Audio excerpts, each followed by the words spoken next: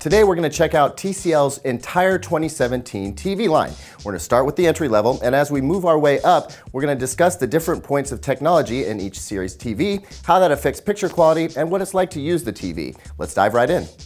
We'll start with the entry-level S305 series, which is extremely affordable. This series ranges in screen sizes from 28 to 49 inches, with the 28 and 32 inch sizes at 720p and everything up from there at 1080p. All models come packing the Roku OS Smart TV platform, which makes them especially enticing for streaming and easy to use.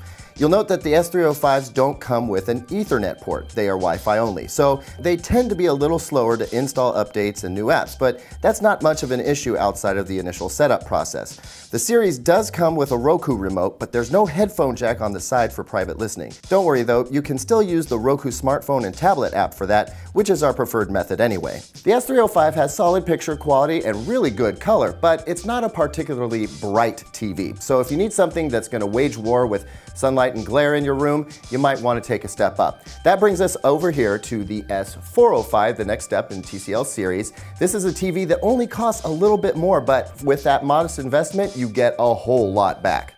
With this series, you get 4K Ultra HD resolution, standard HDR support, more intense brightness than the S305, and really solid color straight out of the box. As with all of TCL's TVs, it runs on Roku's OS and has the same remote as the S305 before it, but since it's a 4K HDR TV, it supports streaming 4K HDR from all the popular apps and grants you access to Roku's dedicated 4K content channel. Overall, this is a remarkably solid TV at a very nice price. Stepping up again though takes you to an entirely different level. This is TCL's premium P-Series television and it's got a lot of the same technology that you'll find in other manufacturers' flagship TVs but at a fraction of the price. I am quite frankly shocked at how good this TV is. It offers both HDR10 and Dolby Vision support and its color is really good out of the box. But if you let a calibrator take a whack at it, it is capable of getting extremely close to ideal color specs, just as the movie makers would want you to see their films.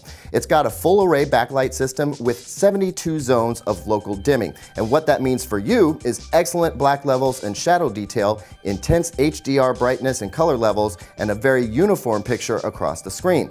This TV is going to end up going down as a game changer in 2017, possibly one of the smartest picks this year.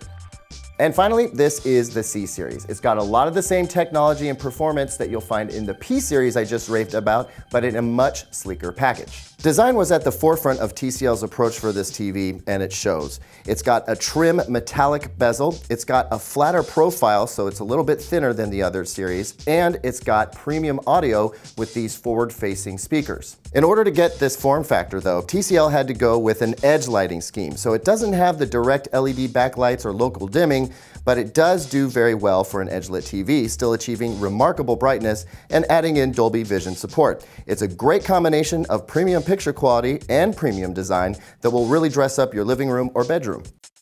That's the TCL 2017 TV lineup, four distinct models with four distinct experiences, all based on the Roku OS platform. And because it's TCL, all of them super high value.